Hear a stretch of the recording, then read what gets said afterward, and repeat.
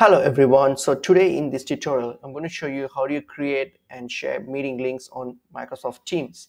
So firstly, open Microsoft Teams application or on or through your web browser. So whatever that's convenient for you. So for example, I just launched my Teams application. So either way is the same process. So open your launch your application Teams uh, application. So once you have launched it, you'll see on your left tab here, there's a calendar icon there. So click on the calendar so here, once you're on the calendar, on your top right, you'll see new meeting. So just click on it.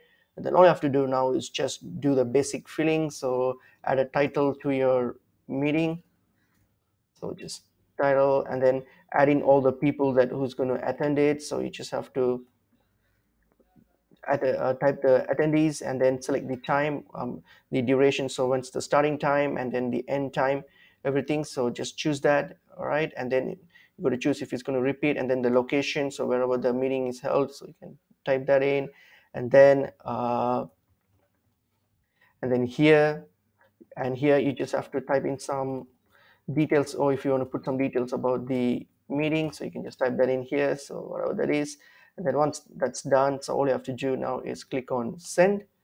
All right so it's now creating a meeting and we'll send the in, uh, send the uh, invites to all the attendees. And then if you want a link of the meeting so you can just have to click on copy link and the link will now copy to your clipboard and then you can share it on your email or in any any sort of forms and then share it to whoever you want. So that's pretty much it is.